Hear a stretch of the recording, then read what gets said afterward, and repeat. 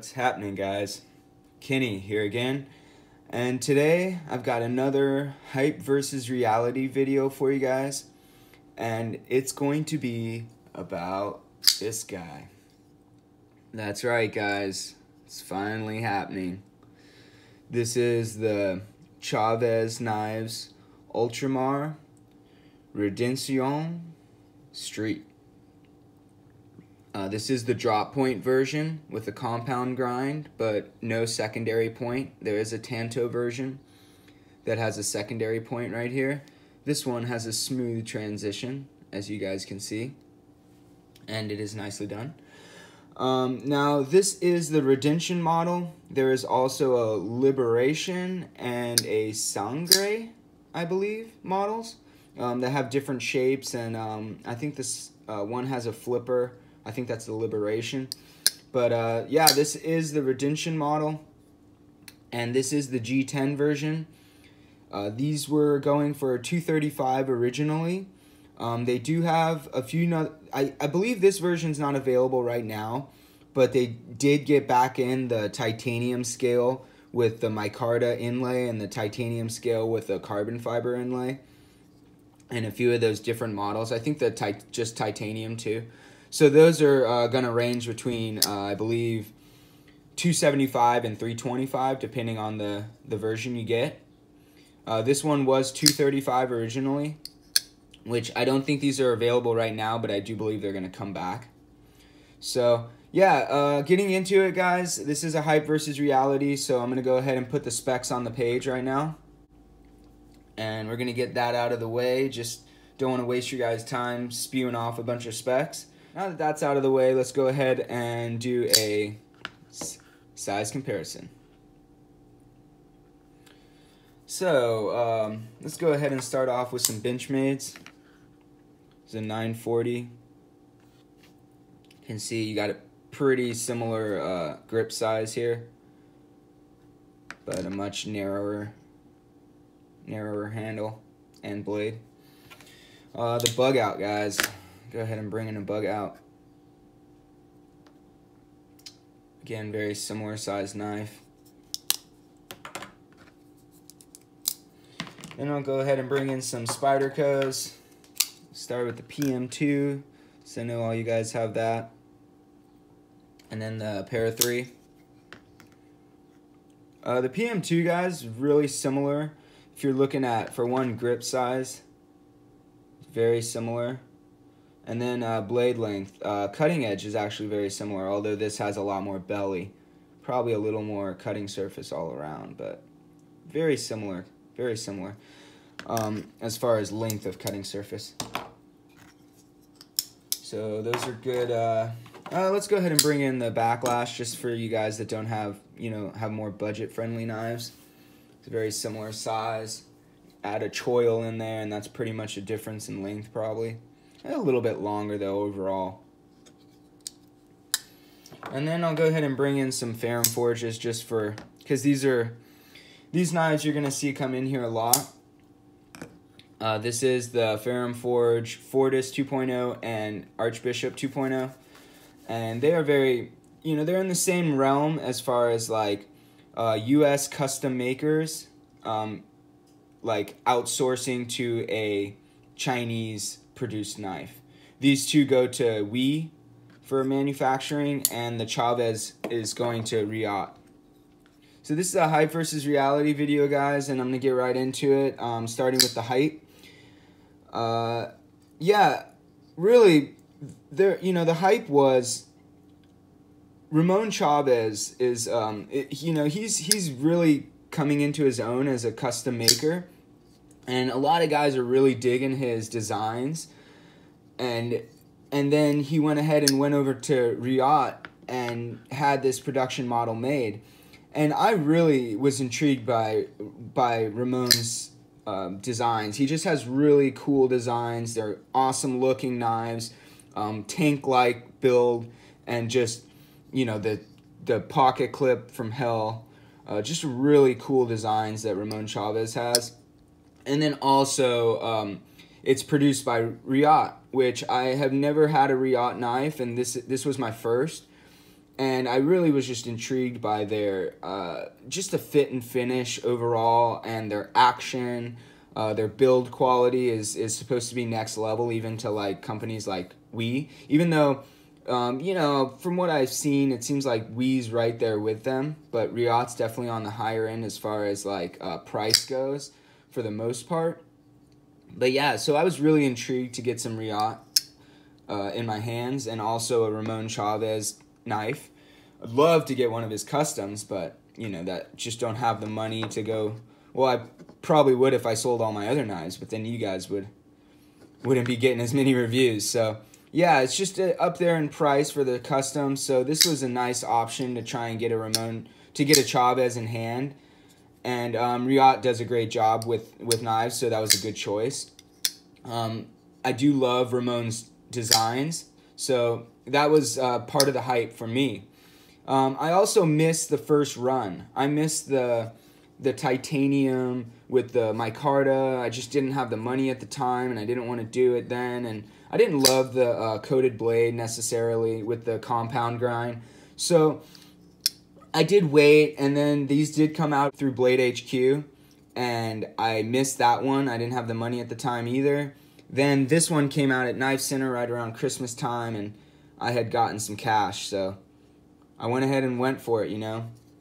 Uh, I also wanted to modify this originally, guys. Believe it or not, I when I saw the the uh, G10 scale, I was like, oh, I I can make a micarta inlay and have a micarta inlay in a G10 scale and be the only one to have that. So I was gonna think I was thinking about doing that and also doing some anodizing jobs on the on the skull, maybe carve into the titanium a little bit. But I did want to do that, and then uh, guys, that's gonna segue me right into the reality when I got this thing, and oh boy guys, when I got this thing out of box, you guys probably watched the unboxing of this if you're watching this, and I was blown away, guys. Uh, the first things first, you know, I got it out of box and I just I saw the beauty of this knife. I really, you can't see this G10 is not going to come through in uh, in the just through the camera. You're not going to get to really see this, but the finish, guys. Uh, the finish, when I took this thing out of box, the G10 has this luster to it. It's very beautiful. It, it has this, this shimmer, and it also has a nice texture. You guys can hear that. It's just enough texture, texture without being like rough necessarily. Very nicely done. And uh, it it was beautiful. The yeah. hardware has some really nice polish to it, like a shimmer, almost like the Ferrum Forges, almost a jewel type finish. Really beautifully done. The the thumb studs are really cool. They have that awesome like like almost not stepped, but it's got these ridges and it actually helps with grip as well. We'll get to that later. But just beautifully done, guys. The titanium has this awesome stone wash to it. You guys can see that there.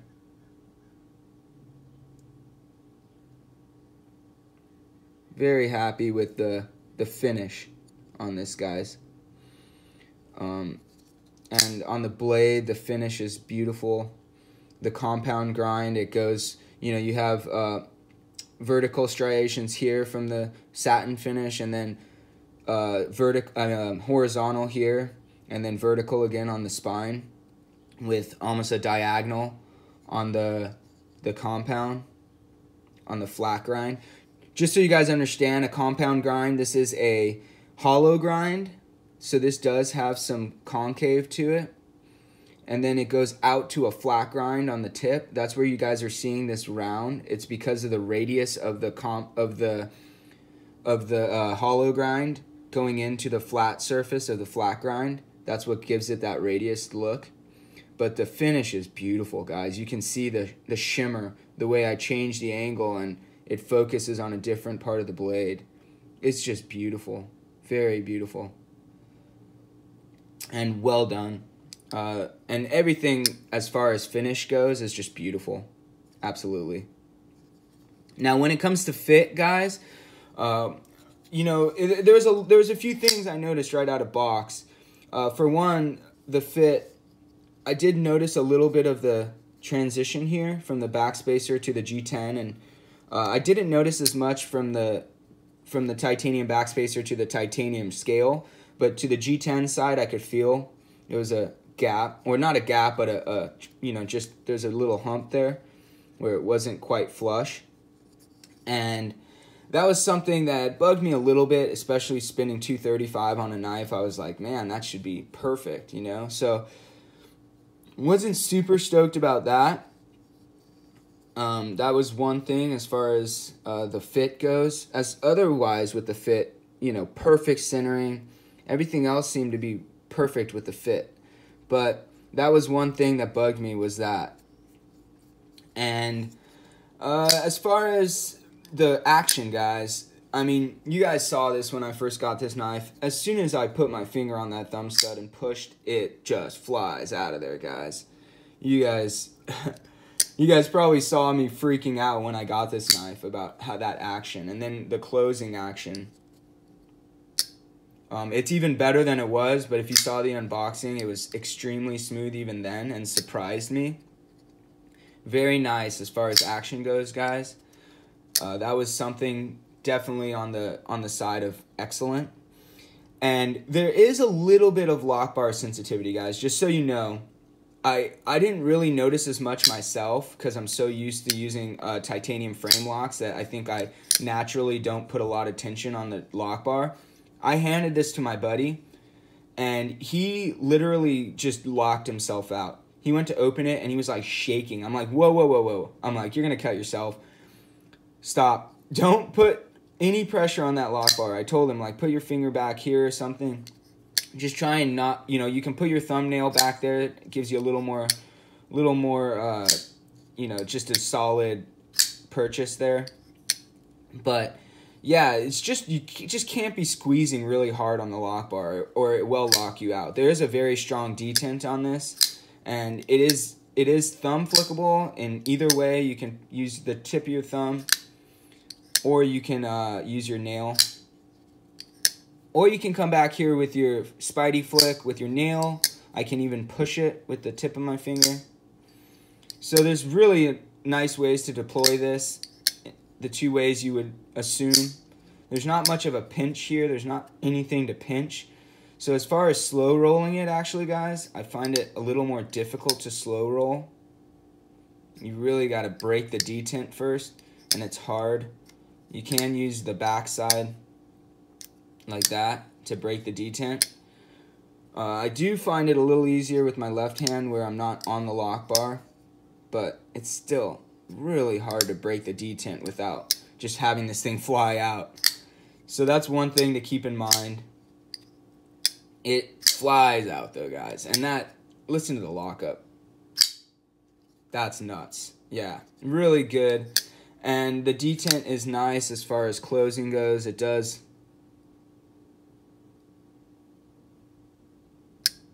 does suck it in nicely.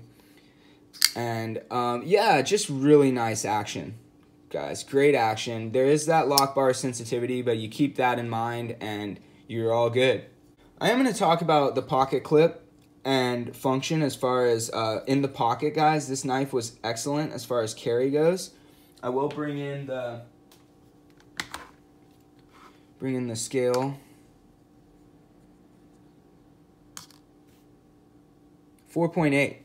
Yeah, that's not bad, guys, for how beefy, how thick this thing is. Uh, I know the other ones are a little heavier. I think they're in that like 5 ounce range. But for what this is, guys, this is excellent. It's very, very well done. Uh, uh, for the weight, you know, you have one G10 scale, so that lightens it up a little bit, but titanium, there is no milling on the inside of this, but it's, it's very well done. Now, as far as the carry, the pocket clip goes, guys, this is awesome in pocket, guys. You, you know, you do have holes in the eyes there. I'll show you a picture of my in pocket.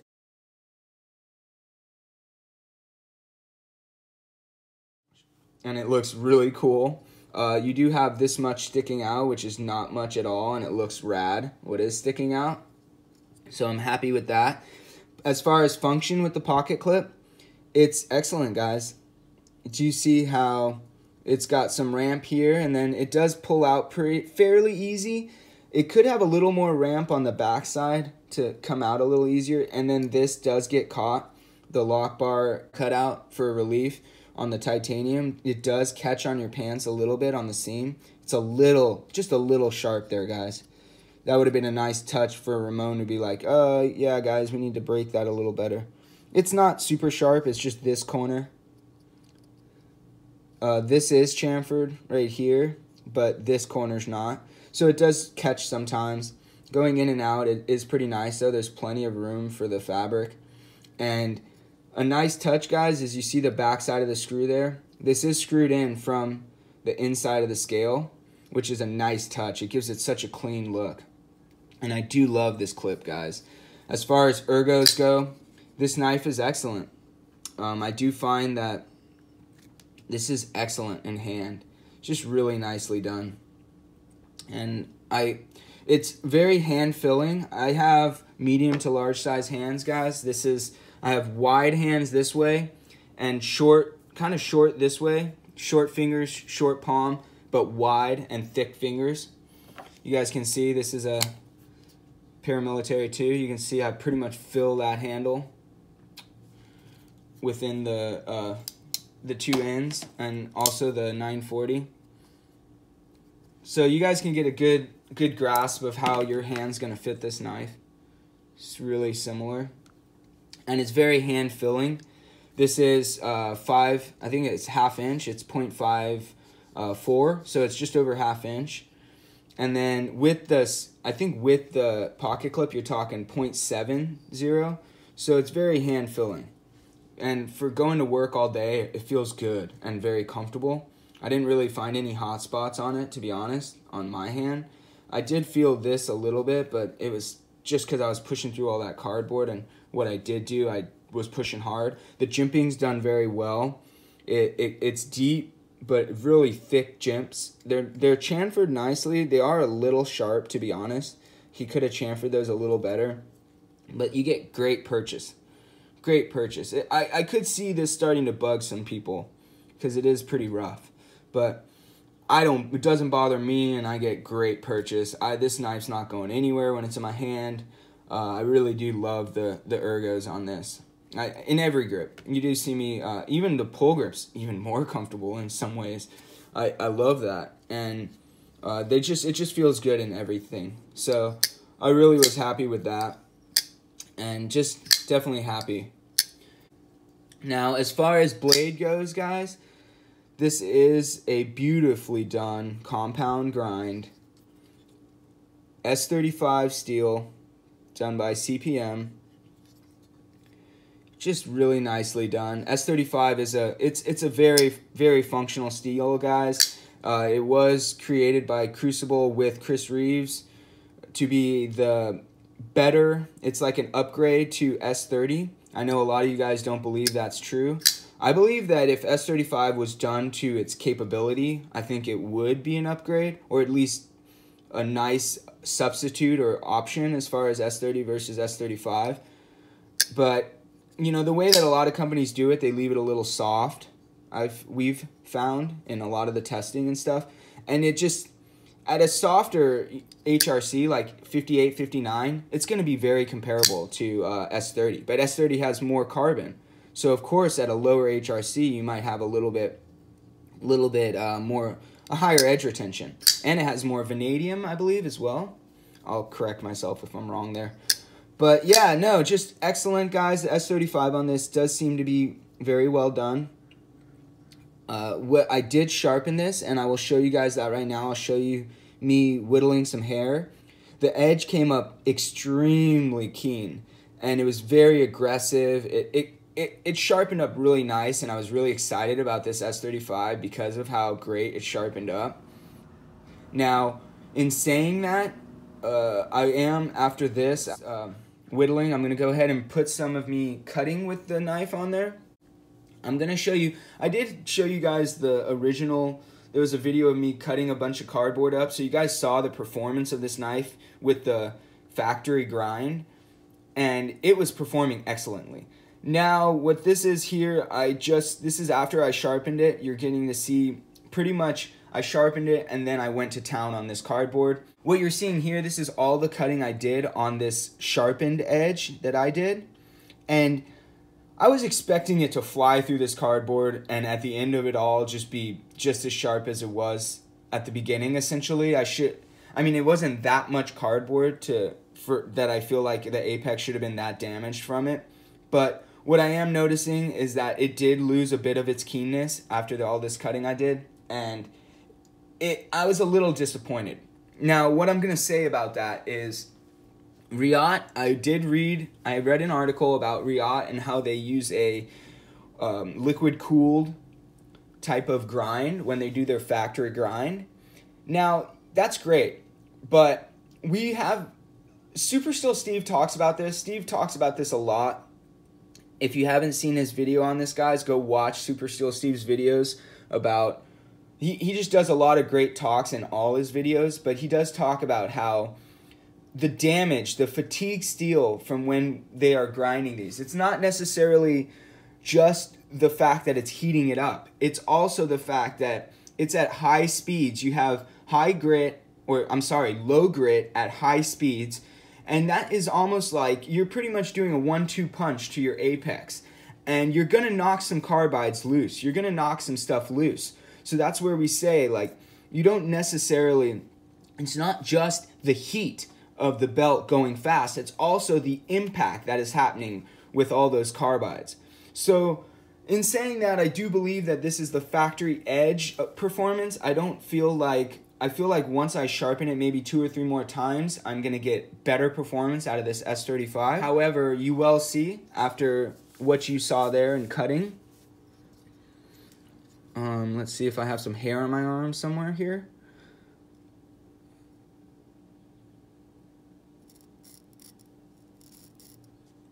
It's popping a few hairs. But it's not, not nearly as sharp as it was, guys. I mean, we're talking hair whittling. Look at that, guys. That's not good. Scrape shaving, pretty much. Now, if I go out here, back back here, it's still screaming sharp. And out here too. I could probably still whittle hair on those two spots because it didn't get as much damage. But yeah, that main edge where I did most of my pushing, it was definitely just this edge is not as keen. Now, what I will say, guys, is this grind on this blade is spectacular. Um, with one exception. Right here, guys. This is a serious issue with, I think, all of these Chaves knives. And this is where we're going to get into a bit of uh, negatives, guys. I'm going to go into kind of comparison, which I don't necessarily love to do, but in this one, it's just, it was too hard to not compare. So what I'm going to talk about right here is this grind. First off, I want to talk about this grind specifically because it is a hollow ground blade with the flat here. This is beautifully done, guys. We're talking 15 thousandths right here. I did have the calipers. I did it in my behind the ed uh, behind the edge thickness video live, and I did do this with the. I was in the channel chat page uh, talking to all the guys, and I did take pictures of this. I, I should have just kept the pictures, but we got 15 thousandths right here, which is awesome. It goes all the way to just about 11, 13 to 11 to 13 thousandths right in the center right here. Back out to like 15. Then where this compound grind starts, it's like 17, 18 thousandths, which is still excellent, guys. And then all the way out to a nice hearty tip that is about 29 thousandths, right, right at the tip. And comparably, I mean, you look at something like the PM2, look how the distal tapering, really thin tip. The swedge and thickness of this really does get, you know, translated to the tip, so that's really nicely done. But guys, you did see, you see that smile at the end there. Uh, I did get this sharp as you guys can see, digging. But it it was sh it's sharp, but it's ugly.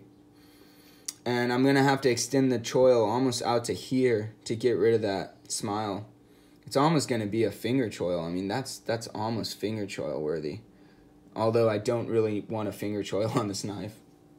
It's not made to be that. So, yeah, not not pretty, guys. That's not pretty. That's the only thing about this blade grind that isn't perfect, guys, really, to be honest. I love everything about this except for that. Um, there is a little bit of transition there. You see the, it does thicken up just a tiny bit, but that's not, that doesn't bug me, guys, at all. But that's pretty nice as far as transition goes on the compound. And it's almost perfect on that side. It really does transition really nicely there. It is a little thicker right at the compound. Um, yeah, so that was not pretty, guys. And I, um, in comparison, I did talk to Elliot about this. I showed him because I did have this knife. What happens, guys, is you do have a radius. You have a radius bit that cuts this hollow grind, and at the end there, it pulls up. It, what they should have done is they should have had they should have programmed this thing to either come down or come out come back after and extend your plunge grind do something in order to, I mean, extend your sharpening choil. You have to do something to counter that. Now, the difference is when you talk about Ferrum Forge versus uh, Ramon Chaves. Ramon, this is his first production line, guy. This is his first run. You know, this is his first opportunity doing this. So it's he's gonna be working all these little things out for sure. Now, when you talk about Elliot and Chris from Ferrum Forge, they have done mini knives now with Massdrop and we. So he's he understands what he has to tell these guys to get the product that he needs in the finish. You you have to go above and beyond with tolerances and telling them how to do things. Elliot's already done these things on a CNC machine doing his own knives, so he knows how to say, "Hey, I want you to do this. I know it's possible. I want you to do this instead of doing it this way. I want you to do it this way." And those are the things that make the difference for me between this knife and, for instance, my Fortis. Now, when you're talking like just basic, you know, um, action and things like that, I really think these are on a very similar level. But when I go into the the actual specifics of how the knife goes together and all the little quirks and little weird things about this versus this, or even bring in this guy, even this versus this. We're starting to talk. I'm seeing some big differences here in, in the production value. I did take this uh, Chaves apart, guys, and this is one thing that was really bugging me. So when when I when I talk about this, I did talk about how the backspacer was not flush. When I took this guy apart to clean him and put him back together, this backspacer is not fixed at all. This is just two screws going through a backspacer with two clearance holes for these screws. So they do not hold them in place. It doesn't hold, the screws do not hold the backspacer in place. This backspacer is free floating. And it was very hard to line up the three surfaces, the G10 versus this um, back spacer versus the outside scale, the titanium scale. So lining all three up was very difficult, and I had to tighten it and push it and slowly tighten it and fudge with it a lot, and that was not very amazing. Uh, it did go back together okay as far as like when I when I screwed it back together, it did center itself perfectly, and it was awesome action right away. So that part of the fit was excellent. This went back together perfectly, but this was weird, guys, and that was not amazing for me. And in comparison, you want to talk about like this knife, for instance. This is back. This backspacer is is uh, shouldered so that this all locks together positively, and that's a beautiful touch, guys. That is where it really sets it apart comparably. So that that's just a small thing, guys, but it's a huge thing in a sense. Same thing with this you know, this is just standoffs, and you might say, "Oh, that's easier," but hey, dude, it was it was perfectly executed. This is shouldered, and it locks in perfectly, and this thing was perfectly centered after, and the action was perfect. Everything went back together very easily. I didn't have to fight with anything like I did with that. Uh, it also has excellent fit and finish, and you see all the, you know, like all the chamfering and everything. Elliot knew how to set the tolerances and set up the the cap programs for those guys, and just get them all set so they couldn't make mistakes. That was a big thing, guys. That was a big thing for me, and this definitely that was one thing that kind of won in the Ferrum Forge, and and Ramon needs to fix that. He does. Uh, yeah, and I mean there is one more thing I want to talk about, guys, in the negatives. Um, this thumb stud. You do see this is in the path of the cutting edge, which is not. It's not a huge deal. It's not that far out. I've seen ones that are like out here. This is it's the one thing I will say is in sharpening, it is in the way of the the stone so I would have to angle it a little more to get it so it's not. Like maybe angle it this way so that the stone doesn't hit it. Um, if you're hand sharpening, you still might need to remove these thumb studs just because they are in the way. Now, I did touch one of the scales. I mean, one of the one of the studs. I don't know if you're going to be able to see that. I did touch one with my stone and I was bummed. I did tape these off, but the stone did go through the tape and just just barely nicked it right there. I think you can barely see it right there. But yeah, I was bummed about that, but it's not a big deal. One thing I'll say is in deployment, if this stud was just a little further out, like right here, it would deploy a little better. And even uh, with your with your uh, finger flick from the back, and it would be out of the surface but it wouldn't be as aesthetic, you know, it would be kind of on the jimp, and I think that's why he did it the way he did, which is again, you know, uh, function over feature, guys. I would have preferred, you know, move the thumb stud to a better spot and let it look a little weird, but be a little more functional. That's a little weird to me, guys, as far as the the design, but it's not a make or break moment for me, and I do love the way it fires action is beautiful. Um, there is a detent ramp, so you'll see it does come to right here, and that's where it kind of catches. But if I do push it over that detent, it does come right down. So there is a detent ramp. I didn't notice that when I was taking it apart, when I took it apart. It goes right over that. There's just a little notch where the detent can kind of fall into place. It does catch on it, but it's not that bad and you can push it past it. Action is amazing though, guys. Just fully drop shut. I don't even have to shake or anything. It's just at its own, and it's with its own weight, it will fall shut. It's really beautifully done. You got to be careful with that sharp tip here. You can puncture your nail if you drop it down too fast, but knife chicken, guys yeah, and that's pretty much it, guys. I think I talked about everything I, I really wanted to, and I know this is going to be a long one. I did have a lot to talk about with this knife.